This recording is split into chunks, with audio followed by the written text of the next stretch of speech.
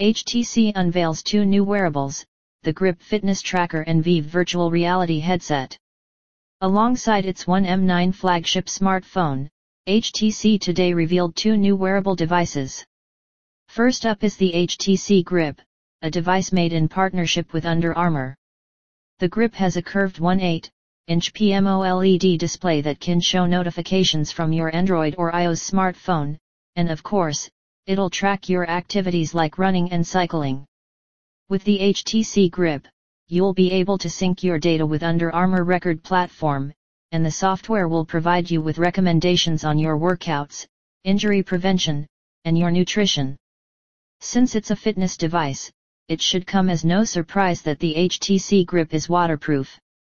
The device can withstand being submerged into 1 meter of water for up to 30 minutes. Its 100 mAh battery will last up to 5 hours with its GPS on, or up to 2.5 days with everyday usage. The HTC Grip will begin rolling out to retailers in spring 2015 with a price of $199.99.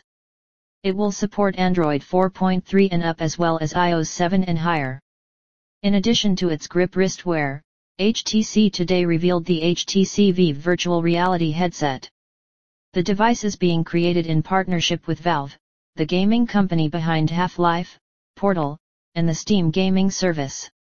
The HTC Vive features 360-degree room tracking, hand movement tracking, and wireless controllers, which ought to help make for a more immersive VR experience.